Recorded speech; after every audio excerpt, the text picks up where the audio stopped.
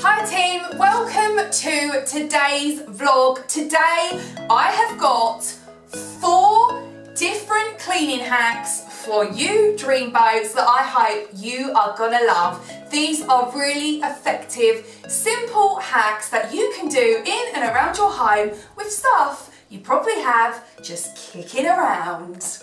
Hack number one is scent your vacuum cleaner. This works whether you've got a bad vacuum cleaner or a bagless one. If you are finding that you are getting a stench coming from your vacuum cleaner, then this is the hack for you. Our vacuum cleaners over time can end up smelling revolting. This is particularly true if you have pets.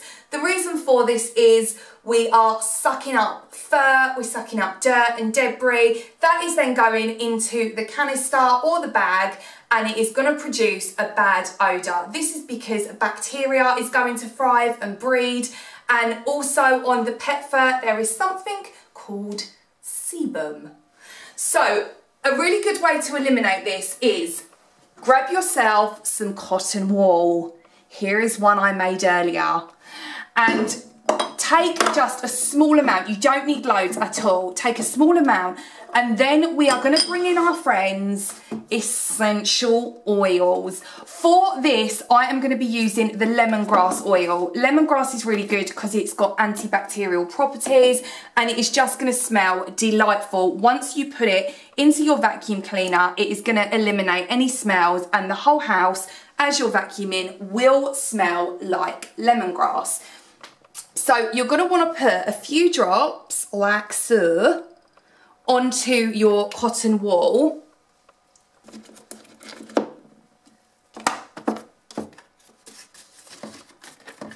Then, if you've got a bagless vacuum, you're going to put it into the actual canister. I'm going to be showing you this in my bagged vacuum today. So what we're going to do is we're going to get the bag, we're going to place this here piece of cotton wool within the bag and then we are going to flick on our vacuum cleaner and I want you guys to try this at home. You will instantly smell the burst of essential oils that you are using. Try to stick with things like lemongrass, eucalyptus oil or tea tree oil. Be really careful though guys with any oils that you're using because some of them can be toxic to pets this is mainly if it goes on their skin, it, they can have a reaction to it. So just make sure you check before you go ahead and use any essential oils.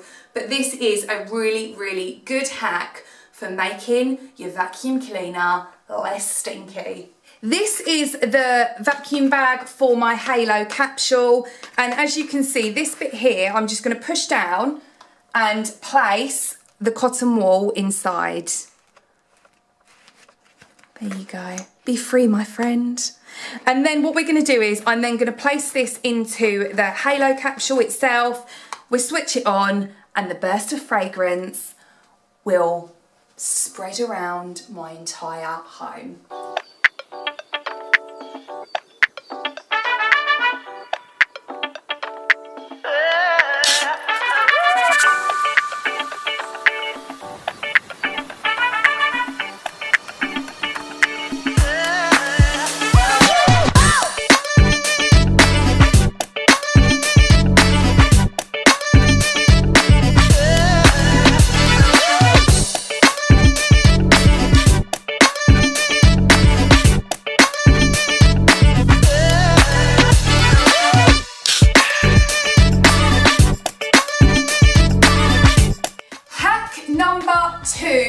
Is prettifying the toilet roll. So those of you that are OGs here on the Hayley's Help YouTube channel will know I love a candle jar. Whenever I get candles, I never toss the jars out. I always repurpose them.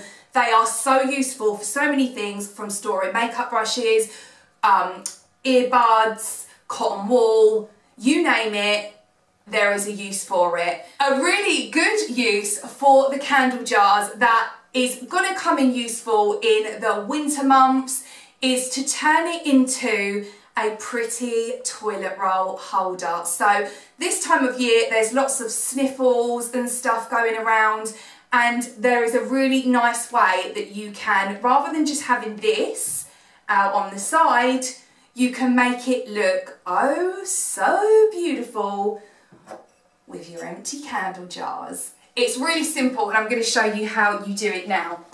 So most candle jars will work. This one's probably a bit too small, so this one is what we're going to go with. All you need to do is remove the inside tube from your toilet roll.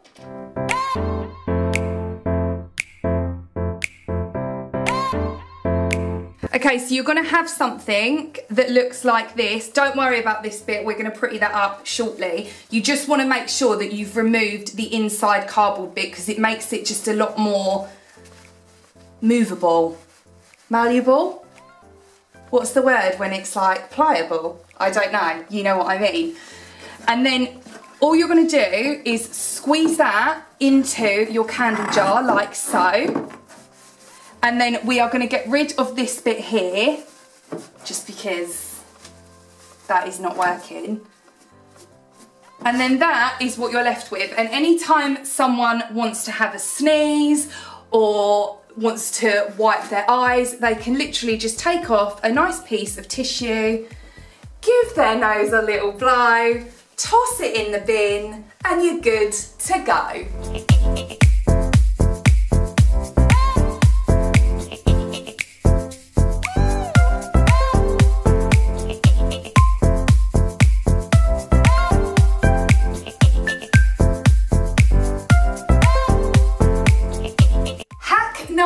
Three, we are going to head into the kitchen for. It is a dishwasher hack using an orange. When it comes to our dishwashers, over time they can get a bit stinky and also they can be a build-up of things like soap scum. The perfect thing to eliminate this is our friend, the talking orange. Cut an orange in half or like so. If you've got oranges that are like about to go bad, dream, use them. You can also use the orange um, skin, so the peels from the orange. You can save them up for this hack as well. Just for ease though, I'm going to be using the whole entire orange. We are going to give this a squeeze into the machine. The reason this is going to work is the citric acid within the orange is going to cut through any of the soap scum and it's going to degrease the dishwasher and get rid of any of the bad odours. Once we've given the dishwasher a little scrub over with the orange, we are then going to go ahead and turn it on. Your kitchen will smell like a zesty orange and what is not to love about that. You can go ahead and use other citrus fruits as well. You can use grapefruit, you can use lemons, you can also use limes. I just like the scent of orange though. So pick your weapon and let's get going.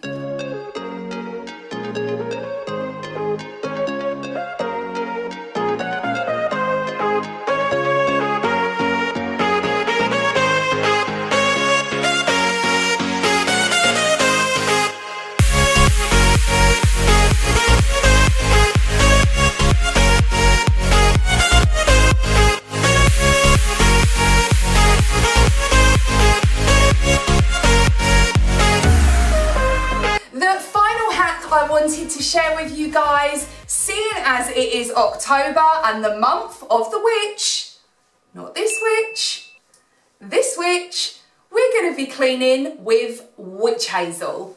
Witch hazel is native to North America. It is a flowering shrub found all along the east coast. Witch hazel is an astringent which makes it a great product for cleaning many household surfaces, in particular places where dust lingers. Dust is mostly made up of dead skin cells and our witch hazel hero will tackle the dust and grime like a breeze.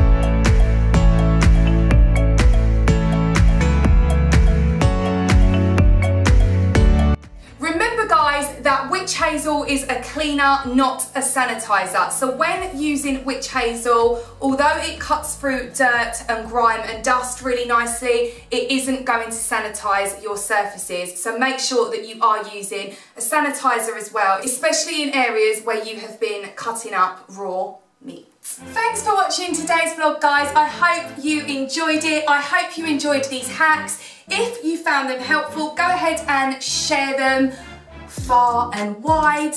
If you enjoyed the video or you've tried some of these hacks and you liked them, go ahead and click the like button. And if you are new here and you would like to see more of the content you have just seen in this video, then go ahead and click subscribe. You can click the bell notification as well. This will notify you next time we upload a shiny new video.